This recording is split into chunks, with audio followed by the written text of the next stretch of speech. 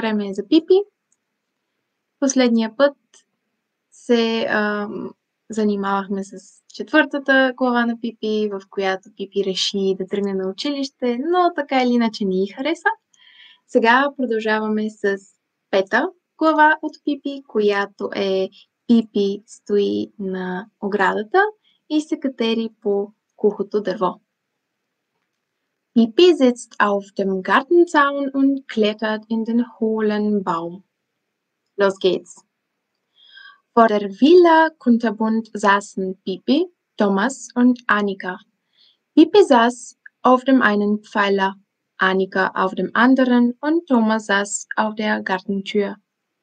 Es war ein warmer und schöner Tag Ende August. Ein Birnbaum, der direkt hinter dem Zaun stand, streckte seine Zweige so weit herunter, dass die Kinder die kleinen goldroten Augustbirnen ohne große Mühe abpflücken konnten.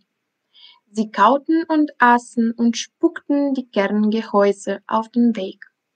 Die Villa Kunterbund stand gerade da wo die kleine Stadt aufhörte und das Land anfing und wo die Straße direkt in die Chaussee überging. Die Leute der kleinen Stadt machten gern ihre Spaziergänge in dieser Gegend, denn hier war die Umgebung der Stadt am schönsten. Gerade als sie da saßen und Birne aßen, kam ein Mädchen den Weg von der Stadt her. Als sie die Kinder sah, blieb sie stehen und fragte, Habt ihr meinen Vater hier vorbeigesehen haben? Ja, sagte Pipi. Wie sieht er aus? Hat er blaue Augen? Ja, sagte das Mädchen. Richtig groß, nicht zu groß und nicht zu klein. Ja, sagte das Mädchen. Schwarzen Hut und schwarze Schuhe. Ja, ganz richtig, sagte das Mädchen eifrig. Nein, den haben wir nicht gesehen, sagte Pipi bestimmt. Das Mädchen sah enttäuscht aus und ging ohne ein Wort weiter. Warte mal, schrie Pipi hinter ihr her. Hat er eine Glatze? Nein, natürlich nicht, sagte das Mädchen böse. Da hat er Glück, sagte Pipi und spuckte ein Kerngehäuse aus. Das Mädchen lief eilig weiter, aber da rief Pipi, hat er unnatürlich große Ohren, die bis zu den Schultern reichen? Nein, sagte das Mädchen und drehte sich erstaunt um. Du willst doch nicht behaupten, dass du einen Mann mit so großen Ohren hast vorbeigehen sehen. Ich habe niemals jemand gesehen, der mit den Ohren geht. Alle, die ich kenne, gehen mit den Füßen. Ach, wie dumm du bist. Ich meine, hast du wirklich einen Mann gesehen, der so große Ohren hat? Nee, sagte Pipi. Es gibt keinen Menschen, der so große Ohren hat. Das wäre ja komisch. Wie würde es aussehen? Man kann nicht so große Ohren haben? Wenigstens nicht hier in diesem Land, fügte sie nach einer gedankenvollen Pause hinzu. In China ist das ja etwas anderes. Ich sah einmal in Shanghai einen Chinesen. Seine Ohren waren so groß, dass er sie als Ballerine benutzen konnte. Wenn es regnete, kroch er nur unter die Ohren und hatte es so warm und schön, wie man es sich nur denken kann, obwohl die Ohren es auch ganz gemütlich hatten. Wenn besonders schlechtes Wetter war, lud er seine Freunde und Bekannten ein, sich unter seine Ohren zu legen. Da saßen sie dann und sangen ihre schwermütigen Lieder, während es oben regnete. Sie hatten ihn seine Ohren wegen sehr gern. Hai Shang hieß es. Ihr hättet nur sehen sollen, wenn Hai Shang am Morgen zu seiner Arbeit lief. Er kam immer in der letzten Minute angerannt, denn er schlief so gern lange und ihr könnt euch nicht vorstellen, wie hübsch das aussah, wenn er angesaust kam und die Ohren wie zwei große gelbe Segel hinter ihm herflatterten. Das Mädchen war stehen geblieben und hörte Bibi mit offenem Mund zu. Und Thomas und Annika konnten nicht mehr weiter essen.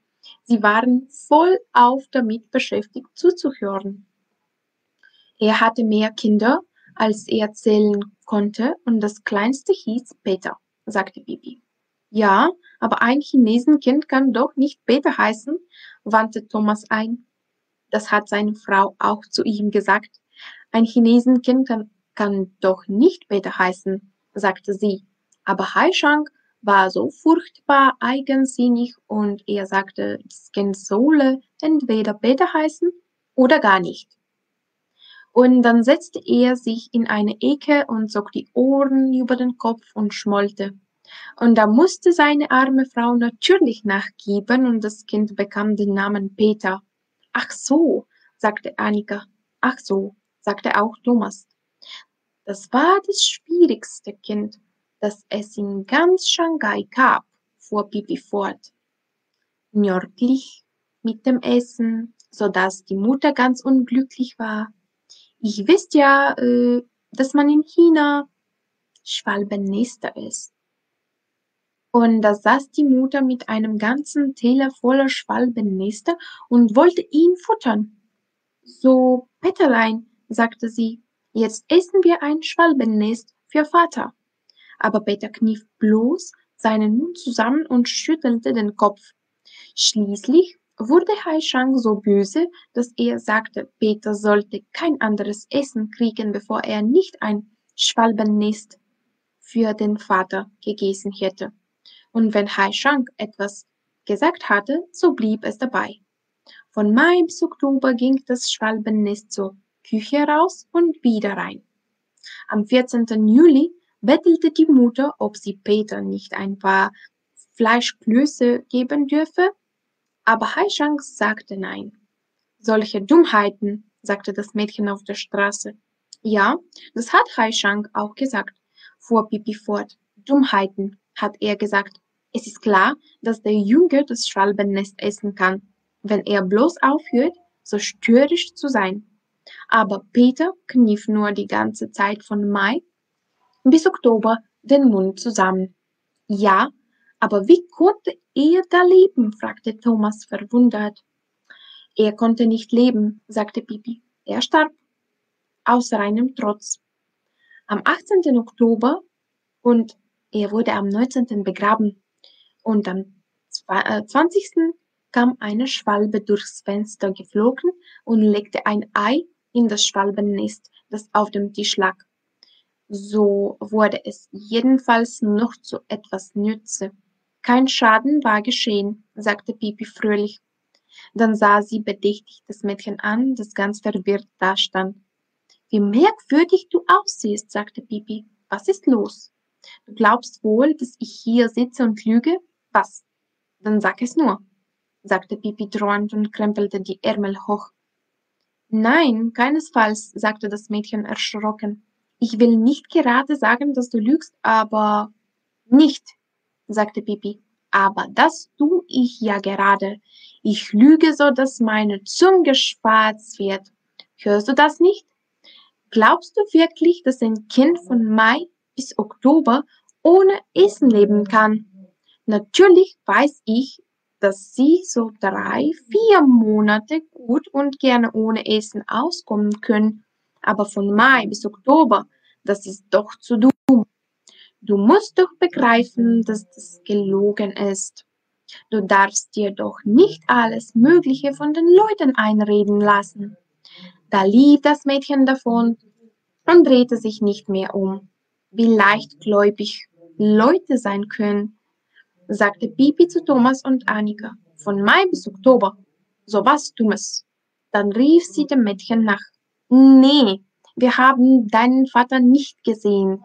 Wir haben den ganzen Tag keinen Glatzkopf gesehen.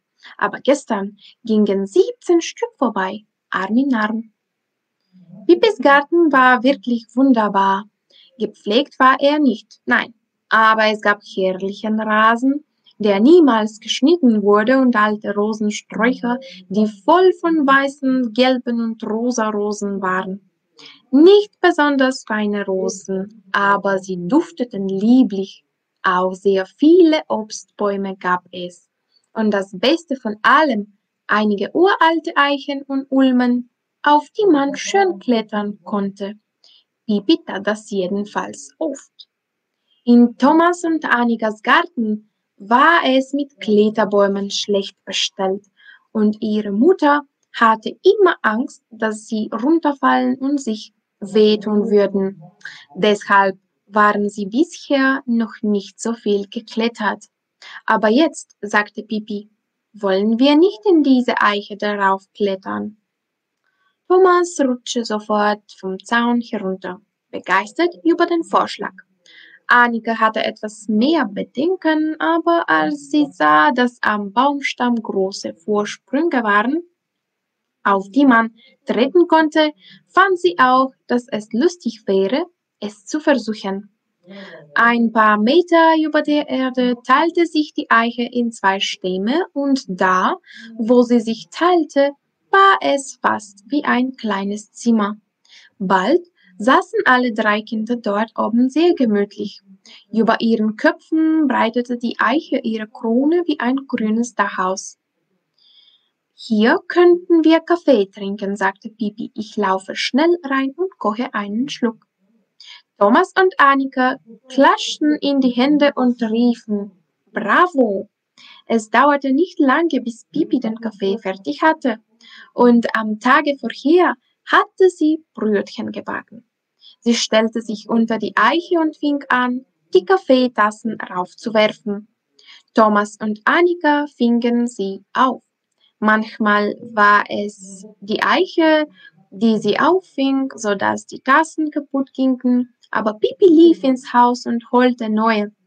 Dann kamen die Brötchen dran und eine Zeit lang schwirrten in der Luft Brötchen herum. Die gingen zumindest nicht kaputt. Zuletzt kletterte Pipi mit der Kaffeekanne in der einen Hand hinauf. Sahne hatte sie in einer Flasche in der, Ta in der Tasche und Zucker in einer kleinen Schachtel. Thomas und Annika fanden, dass der Kaffee niemals vorher so gut geschmeckt hatte. Sie bekamen an Wochentagen sonst keinen Kaffee, nur wenn sie eingeladen waren. Und jetzt waren sie eingeladen. Annika vergoss etwas Kaffee auf ihr Kleid. Erst war es warm und nass, und dann wurde es kalt und nass. Aber das machte nichts, sagte Annika. Als sie fertig waren, warf Pipi die Tassen auf den Rasen hinunter. Ich will sehen, wie haltbar sie heutzutage Porzellan machen, sagte sie. Eine Tasse und alle Untertassen hielten merkwürdigerweise. Und von der Kaffeekanne ging nur die Tülle ab. Plötzlich fing Pipi an, etwas höher hinauf zu klettern. Hat man so etwas gesehen? rief sie auf einmal. Der Baum ist hohl. Es war ein großes Loch direkt im Stamm, das die Kinder nicht sehen konnten, weil es durch Laub verdeckt war. Oh, darf ich auch raufklettern und sehen? fragte Thomas. Aber er bekam keine Antwort. Pipi, wo bist du? rief er unruhig. Da hörten sie Pipis Stimme aber nicht von oben, sondern von weit unten. Es klang, als ob sie aus der Unterwelt käme. Ich bin im Baum drin. Der ist hohl bis unten auf der Erde. Wenn ich durch einen kleinen Spalt schaue, kann ich die Kaffeekanne auf dem Rasen sehen. Oh, wo willst du wieder raufkommen? schrie Annika.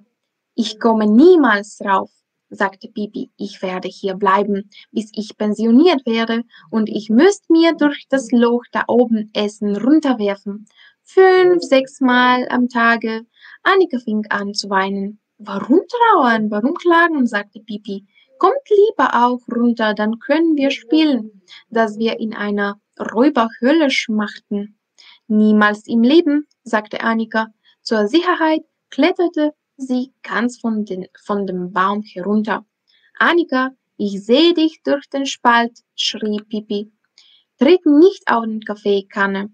Das ist eine alte, nette Kaffeekanne, die niemals einem Menschen etwas getan hat. Und sie kann ja nichts dafür, dass sie keine Tülle mehr hat. Annika ging zum Baustamm hin und durch einen kleinen Spalt sah sie die aller räusperte Spitze von Pipis Zeigefinger. Das tröstete sie etwas, aber sie war immer noch unruhig. Pipi, kannst du wirklich nicht raufkommen? fragte sie. Pipis Zeigefinger verschwand und es dauerte keine Minute, bis ihr Gesicht durch das Loch oben im Baum zum Vorschein kam. Vielleicht kann ich, wenn ich es richtig versuche, sagte sie und hielt das Laub mit den Händen weg. Wenn es so leicht ist, wieder raufzukommen, sagte Thomas, der immer noch im Baum saß, dann will ich auch runterkommen und ein bisschen schmachten. Naja, sagte Pipi, ich glaube, es ist besser, wir holen eine Leiter. Sie kletterte aus dem Baum heraus und ließ sich rasch auf die Erde herunter. Dann lief sie nach einer Leiter, schleppte sie auf den Baum und ließ sie durch das Loch hinuntergleiten. Thomas war ganz wild darauf hinunterzuklettern. Es war sehr mühsam, zu dem Loch zu kommen, denn das war hoch oben. Aber Thomas hatte Mut. Er hatte auch keine Angst davor, in den dunklen Baumstamm hinunterzusteigen. Annika sah ihn verschwinden und sie war neugierig, ob sie ihn jemals wiedersehen würde. Sie versuchte durch den Spalt zu sehen. Annika, hörte sie Thomas Stimme. Du kannst dir dich denken, nicht denken, wie wunderbar es hier ist. Du musst auch, du musst auch runterkommen. Es ist keine Spur gefährlich, wenn du eine Leiter hast, auf die du treten kannst. Wenn du das nur einmal machst, willst du später nichts anderes mehr machen. Ist das sicher? fragte Annika. Absolut, sagte Thomas. Da kletterte Annika mit zitternden Beinen wieder auf den Baum, und Bibi half ihr bei dem letzten schweren Stück. Annika schreckte etwas zurück, als sie sah, wie dunkel es drinnen im Baumstamm war. Aber Pipi hielt ihre Hand und sprach ihr ermunternd zu. Hab keine Angst, Annika, hörte sie zum äh, Thomas von unten. Jetzt sehe ich deine Füße und ich fange dich auf, wenn du runterfällst. Aber Annika fiel nicht, sondern kam glücklich und wohlbehalten zu Thomas hinunter. Und einen Augenblick später kam Pipi nach. Ist es nicht fein hier? fragte Thomas. Und das musste Annika zugeben. Es war gar nicht so dunkel, wie sie geglaubt hatte, denn durch den Spalt fiel Licht herein. Annika ging hin und kontrollierte, ob sie auch die Kaffeekanne draußen auf dem Rasen sehen konnte. Das hier soll unser Versteck sein, sagte Thomas. Niemand kann wissen, dass wir hier sind. Und wenn sie draußen vorbeigehen und suchen, können wir sie durch den Spalt sehen. Und dann lachen wir. Wir können ein Hölzchen mitnehmen und es durch den Spalt stecken und sie damit kitzeln, sagte Pipi. Dann glauben sie, dass es spuckt. Bei diesem Gedanken freuten sie sich so, dass sie alle drei einander umarmten. Da hörten sie den Gong, der zu Hause bei Thomas und Annika zum Abendbrot rief. Wie dumm, sagte Thomas, jetzt müssen wir nach Hause gehen. Aber morgen kommen wir wieder, sobald wir aus der Schule zurück sind. Ja, tu das, sagte Pipi. Und nun kletterten sie die Leiter hinauf, erst Pipi, dann Annika und zuletzt Thomas. Und dann kletterten sie vom Baum herunter, zuerst Pipi, dann Annika und zuletzt Thomas. E Olimpici, това беше всичко от мен и Пипи за тази неделя. Bis bald! Скъпи олимпийци, не забравяйте да се абонирате за нашия YouTube канал. Благодарим ви, че сме заедно.